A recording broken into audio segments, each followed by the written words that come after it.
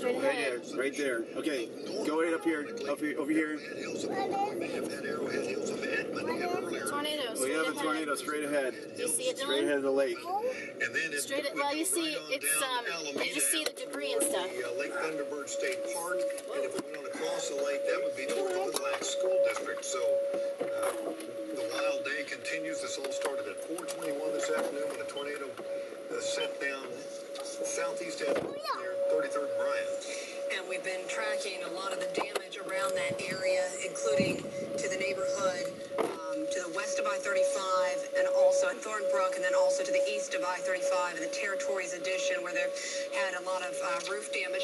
Also getting word of some damage around the Luther area. The Oklahoma County Sheriff's Office is reporting near northeast 234th and Dobbs Road. Uh, they are reporting a roof's been ripped off there.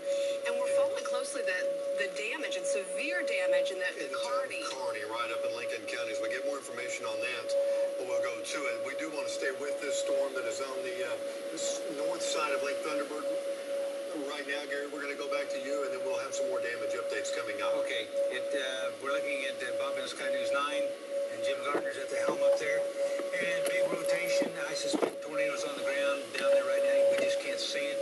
It is a, just a quick shot, uh, just a quick five second shot of Moore, and you'll see the hook echo. You'll see our storm trackers around it. Sky News 9 down there. So it's moving uh, a little south of Stella, but it could curl right up towards Stella. Oh, yeah, it's, it's on the ground. There it is. He's not focusing. Is it? The ground. Pull back.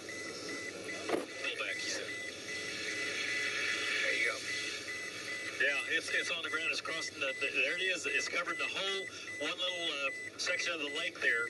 And we had power flashes just moments ago as, it- as it was traveling along. Like I said, it's traveling right on the north side of Lake Thunderbird. There, it's in the water right there. So that whole thing is circulating, Gary. Look at that. That's just an outstanding picture.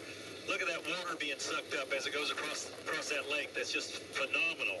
And now, right now, that's going to be on the northern side of the lake. It's going to cross here.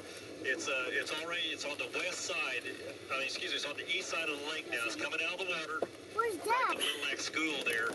Right now, the good thing is, Gary, it's in a really sparsely populated area